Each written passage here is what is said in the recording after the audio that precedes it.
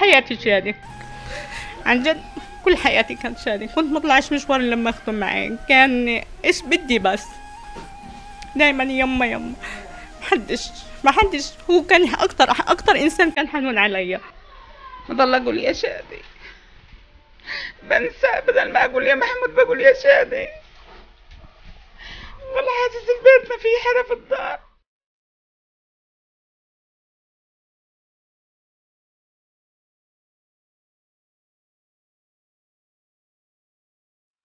بعد إحنا من بعد ما سمعنا انه استشهد حزنا عليه وفقدناه في الحار كان دايما هو اللي ينادينا ونكنس الشارع مع بعض.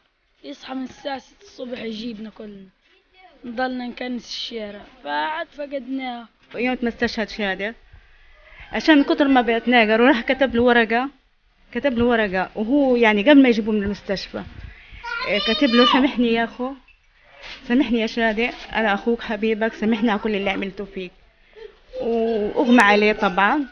وبعد هيك وبعد هيك راح أخذ الورقة معاه على الجامع بده يحطها معاه في قبره.